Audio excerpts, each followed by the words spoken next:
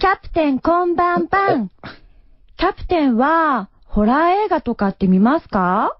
キャプテンの口からあまりホラー映画って聞かないけど、キャプテンはもしかしてホラー映画苦手ですか？ホラーな作品に出演しているキャプテンが見たいです。どうですか？キャプテン？お答えください。えー、まあこういう質問は今まで何度かあの、ワッツで答えてきたことがあるんですが、まあ最近聞き始めてくれたリスナーの方もいるかもしれないので、えはっきり言いますね。僕あの、ホラー大嫌いです。はい。あ、な、なんすかね。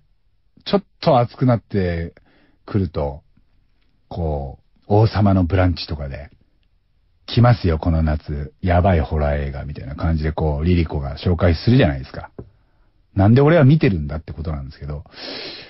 な、なんでですか？あみんなお金を出して、うわって思いに行く。ある意味、全員 M でしょ？違う？だって、S の人は多分あんまり求めないと思うんですけどね、ホラーって。うん。まあでも、この愛知県のまどかが言ってくれている、あの、ホラーのその作品に出演している、あの、キャプテンっていう風に言ってくれてます。これは、ちょっと、はい、あの、お依頼というか、ちょっとやってみねえかっていう風に言われたら、非常に興味持ちますね。